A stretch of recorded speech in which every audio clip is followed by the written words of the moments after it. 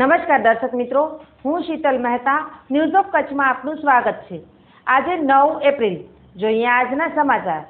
ભુજના હૃદયસમા વાણિયાવાડ વિસ્તારમાં આવેલ નોવેલ્ટી ફોટો હાઉસના શટરના તાળા તોડી દસ લાખ ત્રીસ હજારના કેમેરા વગેરેની ચોરી થઈ.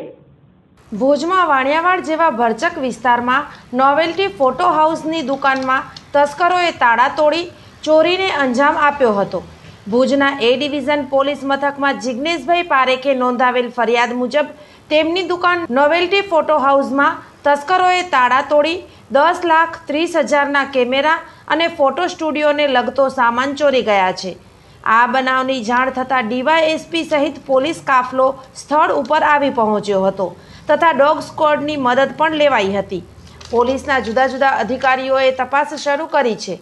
બાજુની ગલીમાં લાગેલ સીસીટીવીમાં અમુક ચોરી સમયના દ્રશ્યો ઝડપાયાની વાત પણ આવી છે. તે સિવાય મહેરેલી ચોક સુધીના વિસ્તારના સીસીટીવી કેમેરાની પણ તપાસ કરવામાં આવશે.